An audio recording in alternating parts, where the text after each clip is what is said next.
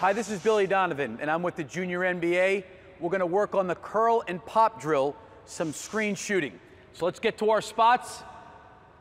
All right, we got our passer, our screening line. Okay, first thing is, as I'm receiving a screen, what do you got to do if I'm guarding you?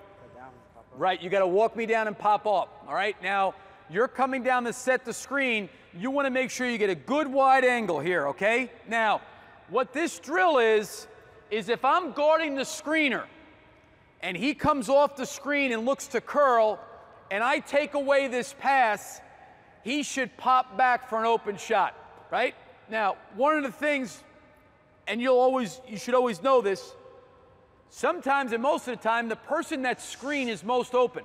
So a lot of times people don't like to screen because they think it's for somebody else. But sometimes if you set good screens, good things happen for you. It's a good place to start with being unselfish, is trying to get somebody else open. So what we're going to do is we're going to come off this down screen.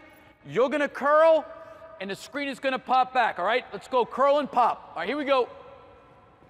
Curl, pop back, shot. Alternate, rotate lines. All right, there we go. Rotate lines.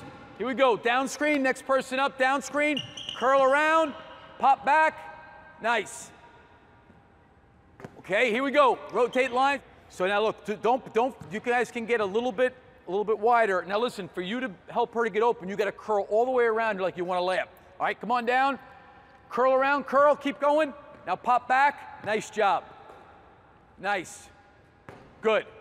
All right, last one to go. Here we go. Down, curl, pop back.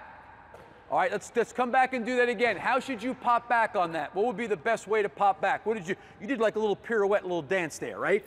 So what you want to do is when you screen, instead of spinning around like that, when he curls around, you just want to pop right back to the ball. All right, so see you pop right back to it. Here we go, you ready? Go. There you go, good. Now step right into it, knock it down. All right, great job. That's a great drill because you're working on screening and you're also working on a player coming off and not receiving the basketball. And what ends up happening is a screener pops back and is open. And they did a terrific job executing that.